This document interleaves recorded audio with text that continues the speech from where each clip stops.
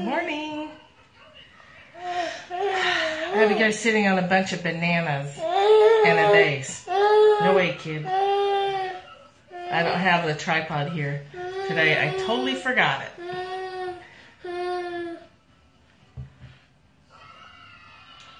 Hey, there you are. Hi, Julia.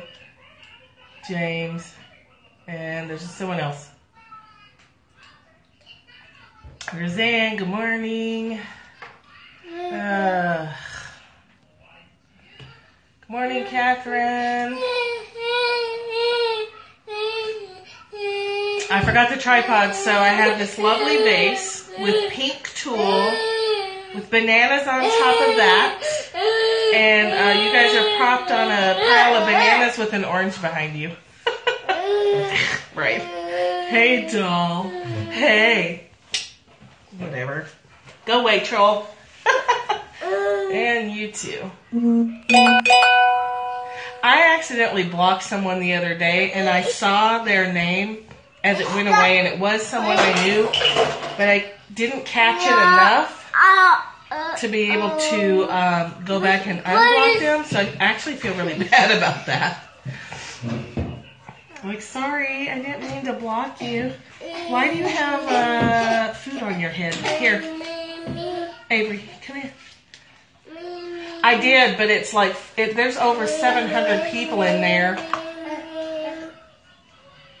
because of all the uh, the porn porn stuff. So I uh, oh my, what is up with this? Yeah, there's over 700 people in the blocked list. It's not possible. It's not. It's someone who's been on my scopes like from a long time ago. I can't. I can't do it. I'm so popular. I'm so popular with the. My goodness. Oh my. Oh my. Okay, so we got pretty decent moods here. Yes. Periscope really needs to give us a approval. Yeah.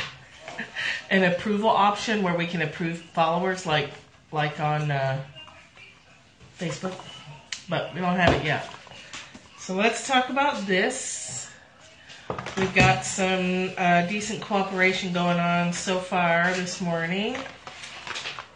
Yes, if you accidentally, uh, if I suddenly disappear, find me on Facebook. Hey, that's a good thing. Find me on Facebook. If you suddenly can't see me anymore, I promise it's an accident. So, let's talk some big magic here. How are you guys doing with creative processes? I think you're generally a creative bunch anyway, so I don't know that there's like a lot of encouragement there. Oop. Oh no, the banana method. Oh god, that was probably pretty loud. Oh no. You gotta not bump the table. I'm gonna blame you. I'm gonna blame the toddler. Here, baby. Okay. So uh, we'll see how far we can get over the. Yes. oh no. oh no. They say oh no and uh oh.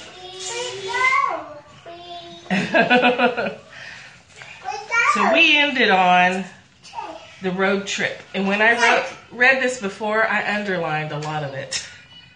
and now actually I don't remember. We're going through this book, Big Magic, and we're on page 24. And we're in the section called The Road Trip. And you don't have to run out and buy this book. We're going to read it. I mean, if it's really long, if it's a long, long story, I may summarize, but I'm pretty much reading it word for word. So you don't have to run out and get it. But if you want to, it's an excellent book. And it's twin day. Oh my gosh, you guys. Oh my gosh. We gotta figure out something. Okay, can I tape the phone? Oh yeah, with my uh, opinions. I, you know, I, I toss in a lot of opinions. Can I? Do you guys know? Can I put blue painter's tape across my phone? Sorry about that. I know that's like really hard. Let me see if I can tape us up here on the cabinet. Uh, I'm sorry that this is your first time here. We're uh, on Twin Day. It is a little more chaotic. When I'm at home, it's not.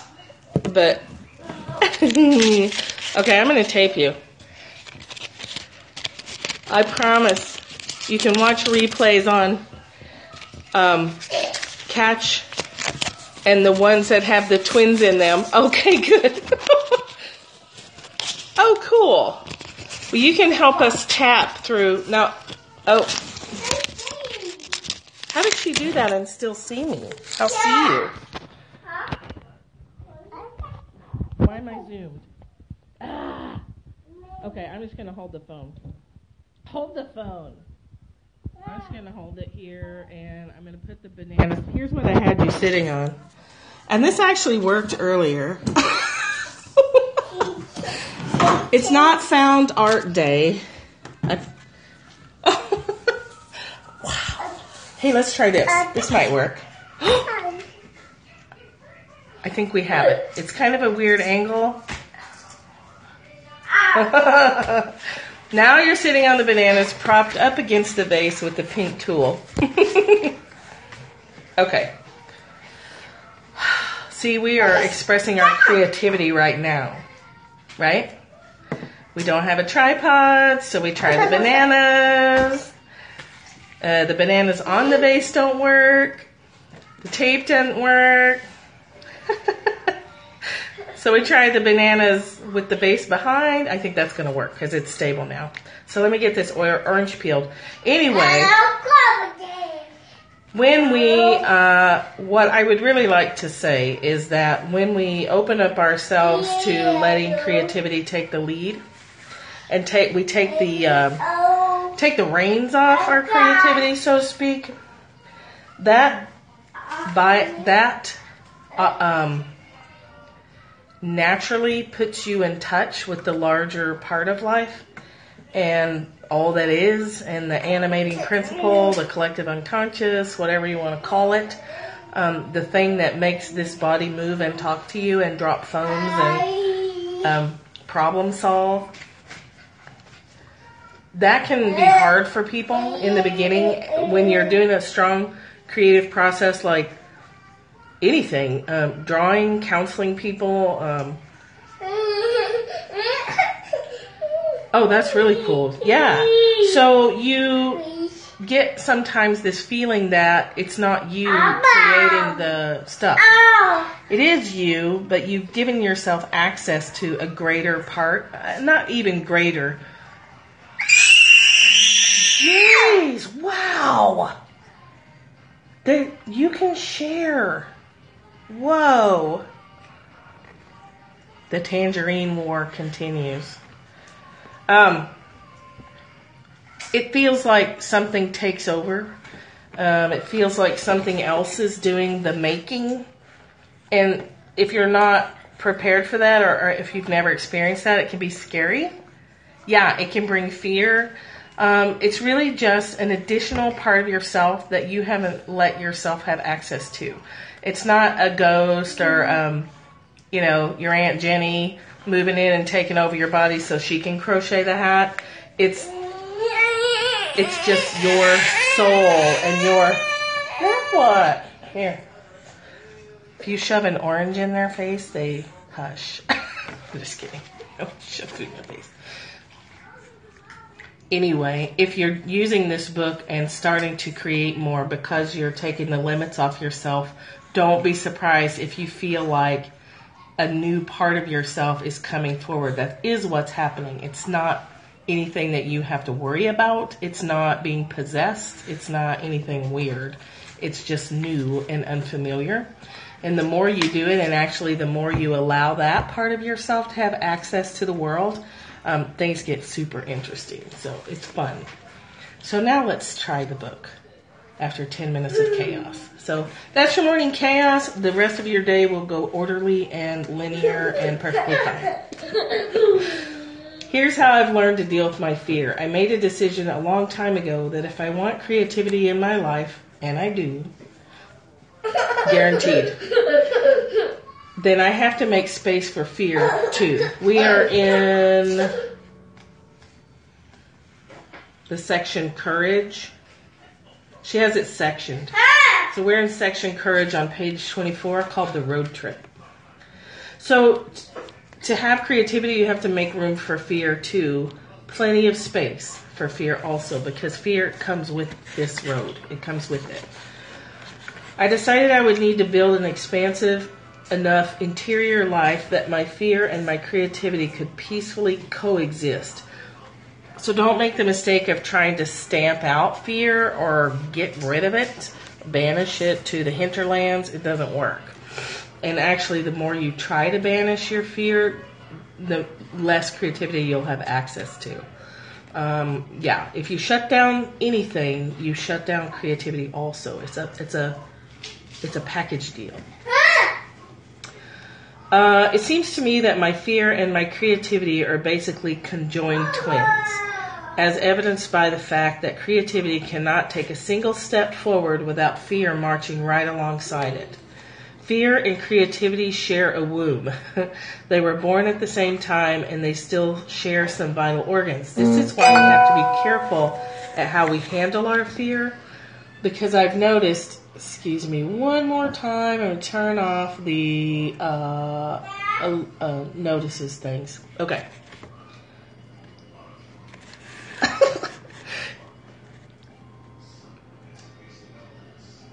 we have to be careful how we handle our fear because I've noticed that when people try to kill off their fear, they end up inadvertently murdering their creativity in the process. And I would say also when you try to squash fear, you squash love, you squash giving, you squash energy. You can't chop yourself up into bits and put everybody in a nice, neat little box. It just doesn't work like that. It creates so many problems. Um, you you're you're that conduit of energy and if you pinch it anywhere you've pinched the whole thing off so i don't try to kill off my fear. I don't go to war against it. Instead i make all that space for it. Heaps of space. Every single day yes i'm making space for fear right this moment. I allow my fear. I'm making space for fear right this moment. And uh, anxiety. Because um, you know, with the phone, the phone falling and things are a bit more chaotic here. And so I always have a little bit of anxiety on days like this where I know I'm going to, I mean, it's a challenge too, right? You have to think creatively. You have to think fast to get this message out. This is my daily practice. So it's really important to me that I do it whether there's twins here whether there's other chaos going on, it's my daily practice. It has to be a priority. So even in a tangerine war. I allow my fear to live and breathe and stretch out its legs comfortably. It seems to me that the less I fight my fear, the less it fights back. If I can relax, fear relaxes too. In fact, I cordially invite fear to come along with me everywhere I go. I even have a welcoming speech prepared for fear, which I deliver right before embarking on any new project or adventure. Here's, here's her welcoming speech to fear. And you can do this with anything anger, working alongside, yeah, even with flying tangerines. even with um, the Tangerine War, the Great Tangerine War of 2016 is what I've been calling it, and it's ongoing. okay, I would encourage you to develop something like this for yourself every time you go to sit down to write, every time you go to do something that makes you feel vulnerable. Dearest fear, creativity and I are about to go on a road trip together. I understand you'll be joining us because you always do.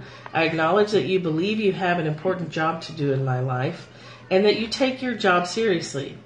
Apparently, your job is to induce complete panic whenever I'm about to do anything interesting, and may I say, you are superb at your job.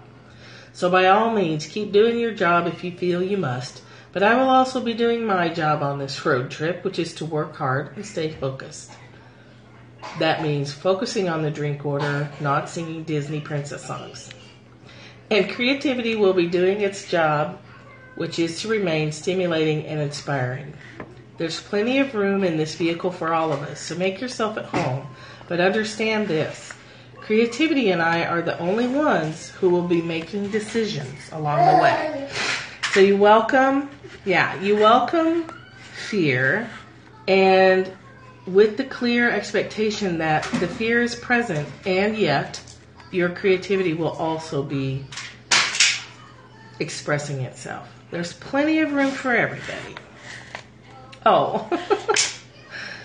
I recognize and respect that you are part of this family, and I will never exclude you from your acti- our activities, but still your suggestions will not be followed.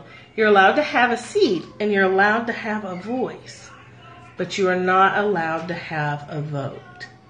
You get a seat, you get a voice, you're welcomed here with love, but the final vote is mine. You're not allowed to touch the road maps or suggest detours. You're not allowed to uh, fiddle with the temperature. Dude, you're not even allowed to touch the radio, so don't even try. But above all else, my dear old familiar friend, you are absolutely forbidden to drive. Then we head off together. Me and creativity and fear, side by side forever, advancing once more into the terrifying but marvelous terrain of unknown outcome. That's why we don't create is we don't know where it goes. And when you open yourself to the process, there's that sense of uncertainty, there's that sense of energy flowing through you that may feel unfamiliar, and you have no idea where it's going to go. And when you get controlling about it, you shut it down. Uh, when you let fear make decisions, you shut it down. Yeah, so you have to approach it with curiosity. You have to approach it with willingness. You have to approach it not thinking about who's going to see it or what they're going to say or where it's going to go or, God forbid, if it's going to make you money.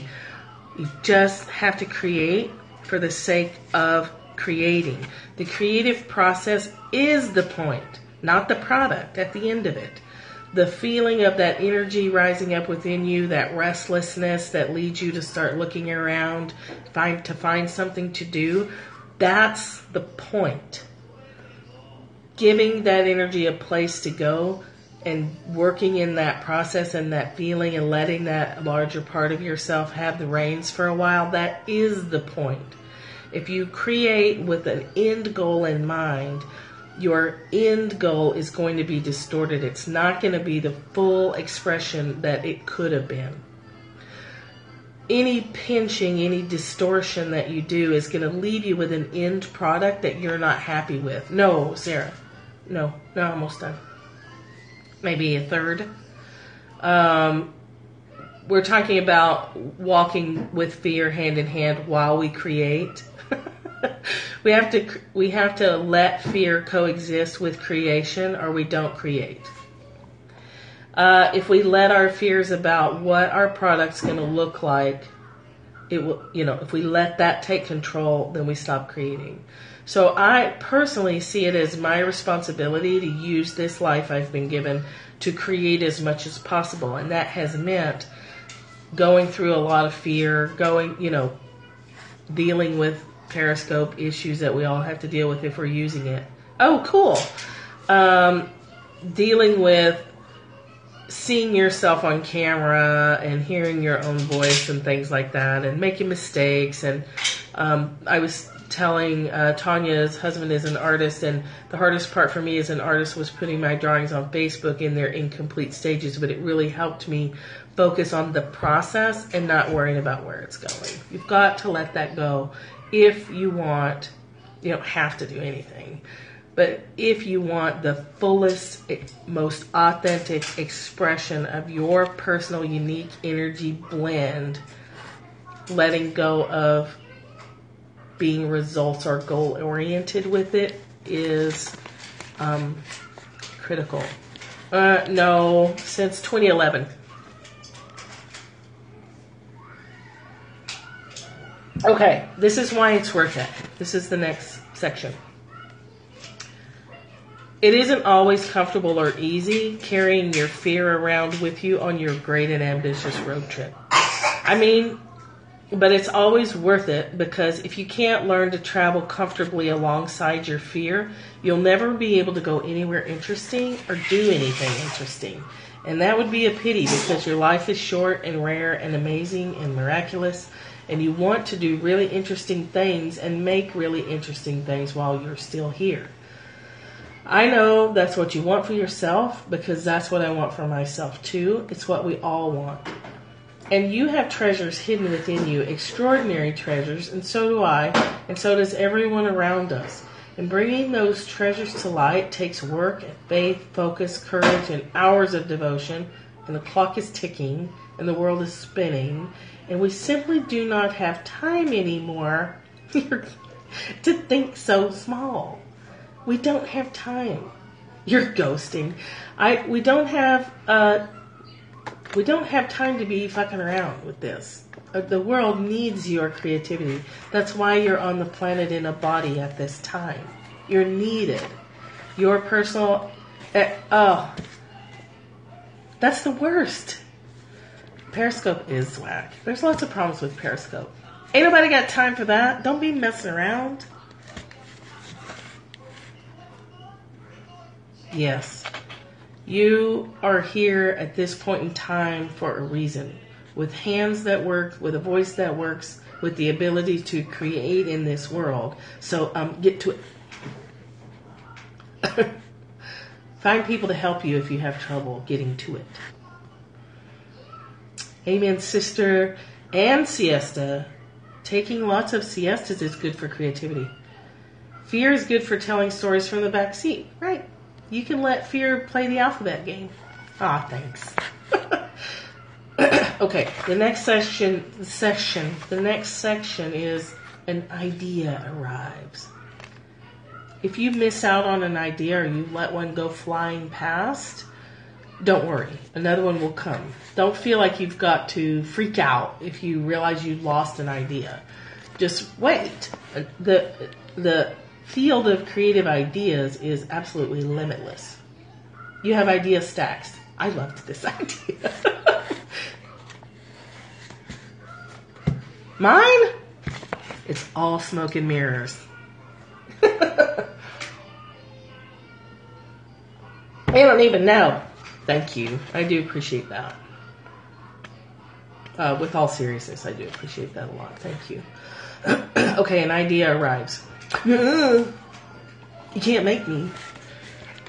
Now that we're done talking about fear, we can finally talk about magic.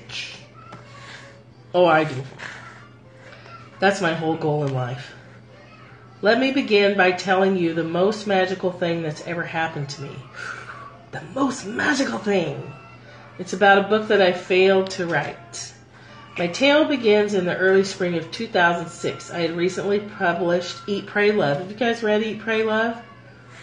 At first, I didn't like that book very much, but um, I ended up liking it. And I was trying to figure out what to do with myself next, creatively. My instincts, ah, no problem, Nina. My instincts told me it was time to return to my literary roots and write a book of fiction, a work of fiction, something I hadn't done in years. In fact, I hadn't written a novel in so long, I feared I'd forgotten how to do it all. Oh, shit, crap. nice. Dude, it's like, uh, if I'm sharing it, it, it matters. I don't share no garbage. I feared that fiction had become a language I could no longer speak, but now I had an idea for a novel that excited me tremendously. Thanks for the shares and the and the hearts and stuff. The idea was based on a story that my sweetheart Felipe had told me one night about something that had happened in Brazil when he was growing up there in the 60s. The Brazilian government got a notion to build a giant highway across the Amazon jungle. This was during an era of rampant development and modernization, and such a scheme must have seemed stupendously forward thinking at the time. They poured a fortune into it, millions and millions and millions of dollars, most of which immediately disappeared into holes of corruption. Eventually, cash trickled into the right places and a highway project began. All was going well for a few months. and then it started to rain. It seems that none of the planners had fully grasped the reality of what the rainy season in the Amazon. Yeah, I didn't like it at first. I kind of felt like, well, sure. I mean, if I could go wander Italy at the time, I was like, if I could go wander around the world, yeah, things would be easier. at first, that was my first reaction to it. It was like, well, maybe. So it starts to rain. They've got this highway going. The construction site was immediately inundated and rendered uninhabitable. The crew had to walk away. There was nothing they could do. Their their equipment was sinking into water. Uh, that's not. Uh, nope. Oh, yeah, just climbing up on the table. So after the rain subsided, the jungle the jungle had devoured their highway project. The efforts had been erased by nature as if the, the, all that had never existed at all. So you get the picture. When he told me this story, the part about the jungle swallowing up the machines, chills ran up my arms. The hair stood up on the back of my neck, and I felt sick, even a little dizzy. Okay. Do you hear the question at the end of the the uh the rising intonation? I have no idea what she's asking. Oh, that. Nope. Here. Here. Come around here. You want this? You gotta. You can't come over the top of the table, even though that is more efficient. Come around here. Get down off the chair and come around here. Okay, hang on. Hang on. Nope. Nope. Nope. Nope. No, Avery. Nope. Not cool. Not gonna happen. No climbing on the table on Gigi's watch, Missy. Ew, I stepped on a tangerine. Yuck. So gross. Here, baby. Now you stepped on a tangerine. What is that? It's multiplication war. Here, baby. Here, baby. Here you go. They're over there. Go get them! If you throw them some distance away, then you buy yourself a few seconds. Shoo, where were we? Did you hear her? She went shoo, too. ah, I like puppies. Trickery. Oh, it didn't work. She's right back. Okay. She gets this idea and she feels it zing through her body. Your body is a great um, receiver of ideas, and that zingy, uh, awesome feeling that you feel is your indicator that it's a really good idea and you should go with it. Antenna, right? That's the word, antenna. The zingy, you get the zingies, you're onto something. So she says she'd experienced this before. She knew immediately what was going on. Such an intense emotional and physiological reaction doesn't strike me often, but it happens enough and is consistent enough with symptoms reported by people all over the world, all throughout history, that I believe I can confidently call it by its name inspiration. This is what it feels like when an idea comes to you. When an idea comes to you that is full of life and perfectly suited for your unique blend of abilities and stuff. Hi, Max. Um, you get that powerful feeling. That is soul infusing your body and just asking for expression. The most important thing you can do is act on that kind of feeling. Good morning. Um, so, how ideas work. I should explain at this point I've spent my entire life in devotion to creativity, and along the way I've developed, yeah, birth, right? We've talked about that before. It's it's something gestating. That's a horrible word. It's something growing inside of you that needs to be allowed expression. The more you can express those kinds of feelings, those kinds of inspirations, that's what you're here to do. And that is what puts you in the flow, and then the synchronicities start happening, and you follow those, and life is meandering and magical and powerful when that happens. But you got to act on it. You have to move on it. incubating, and then act. Watch that mouse like a cat, and then pounce. You'll know. Okay, when I refer to magic here, I mean it literally. She means literal magic, like in the Hogwarts sense. Best book ever. it's the most fun book ever right now. Hogwarts kind of magic. I'm referring to the supernatural, the mystical, inexplicable, inexplicable. Yeah, it's a great book.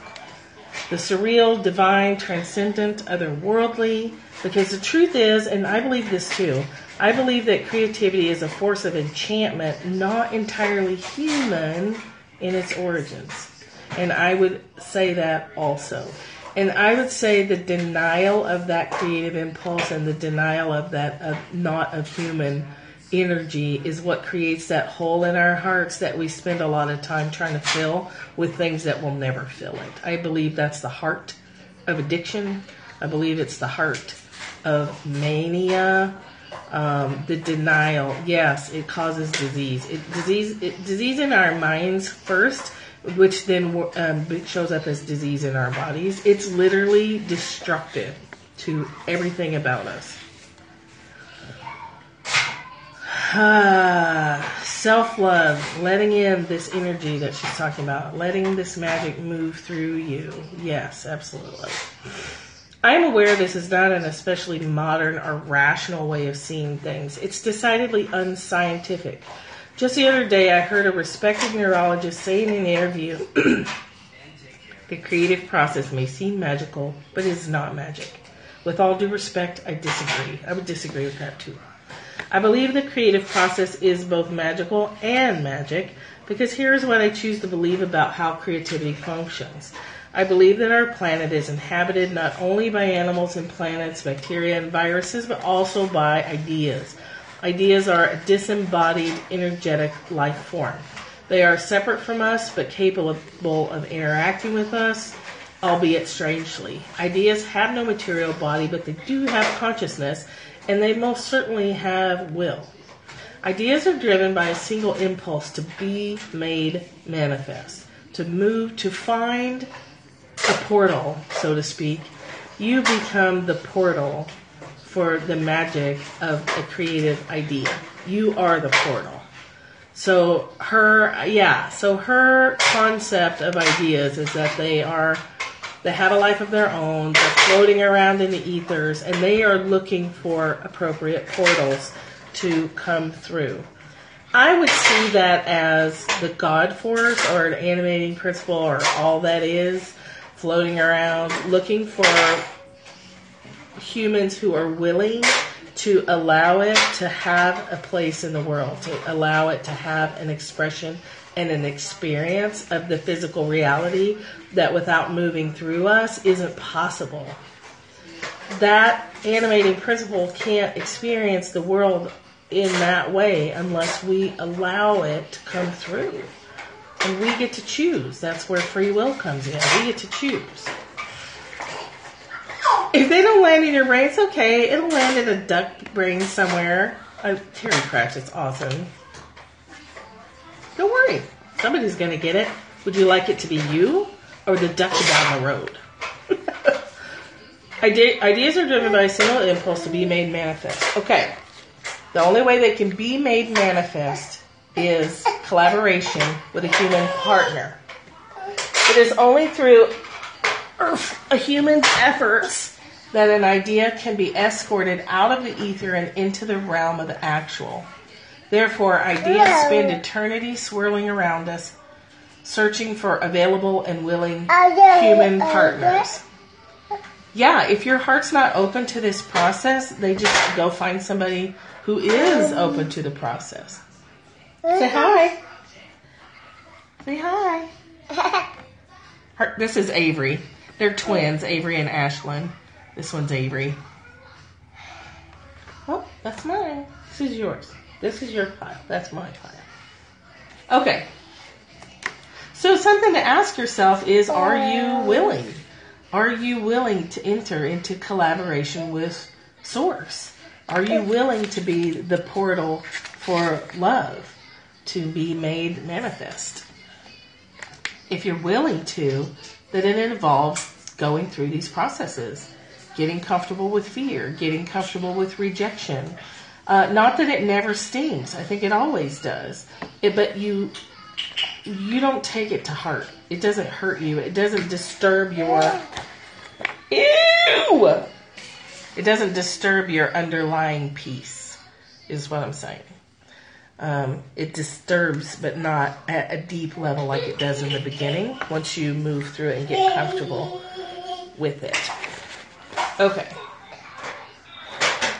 Are you willing to be that portal? That's not in the book. That's me, um, you know, passing on my opinion. I think you should ask yourself that question and then get ready for the ride of your life. When an, when an idea thinks it has found somebody, such as you, who might be able to bring it into the world, the idea will, yeah, respect, Yeah. respect level of readiness. If you ask that question and part of you is like, no, I'm not ready, respect that process.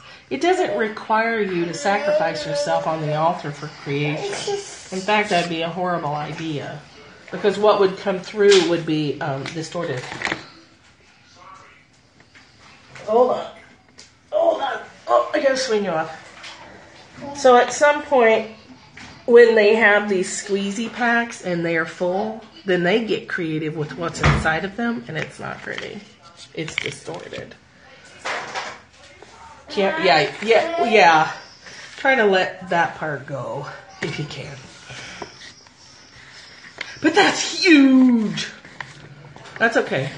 You can take fear with you and say, yeah, it is. It's kind of a big deal. I'm kind of a big deal. Just take it with you. Uh, what, what is with that today? What is with that today? Oh, gross. Here. Oh my gosh. Two toddlers nibbled on tangerine That's nastiness. No, no, you've got to get off of that. Nope.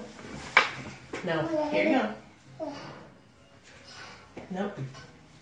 Can't, can't let you do that. Oh, there's oranges everywhere. That's really gross. There's orange goo like all over. Okay, we may be running out of time. Do you hear the, the double chorus of whining started? In fact, I should probably just like, hey, hey. Let's, we're probably going to have to wrap up. Some things are just no. No climbing on the table. This is Ashlyn. Say hi. Say hi. Say hi, baby Ashlyn. Hi. Hi. Funny little girls. Say hi. Hi. There they are.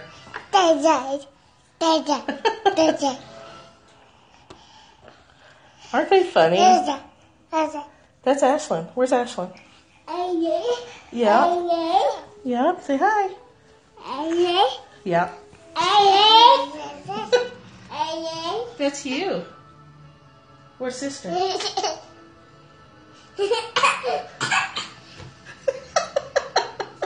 what is the? Uh, oh, it's a, it's a, it's a, it's a something. It's double trouble for sure. Unicorns for you babies. okay. Uh, so you can hear what's happening here. So I'm afraid we'll have. Oops. We'll have a little bit of a shorter spiel today. That happens a lot, you guys. Uh, on twin days, it's a little bit shorter. Baby time! Hey, do you see that baby? What's that baby doing? Say hi, baby. Say hi to that baby. So, ooh, that baby's creepy. That's kind of weird. Thank you. Okay. So ask yourself if you're. Bye bye. Ask yourself if you're ready to let love move through you. Bye bye. Bye bye. Ooh, the double wave. She's like, okay. Oh. Are you doing yoga? We were doing, uh, I'm in the Fierce Grace Collective, and earlier we were doing the Ong Namo Guru Dev Namo chant thing, and she had her arms up with me too. Yeah, super sticky. Okay, so it's a wet mop and uh, change of clothes for babies for this grandma. I will see you guys tomorrow from home where it's a little more peaceful. Thanks for inviting people and thanks for joining me and dropping by and appreciate it and love you and have a wonderful, wonderful Saturday. I'm going to go uh, wrangle babies, be a baby wrangler, twin wrangler. That's my friend Kelly's um, Twitter handle because she has twins is Twin Wrangler. It's hilarious. You're welcome. Have a great day. Tangerine party! Throwing, eating, and now the cleaning. Uh, okay. Bye. Okay, sounds good. See you later.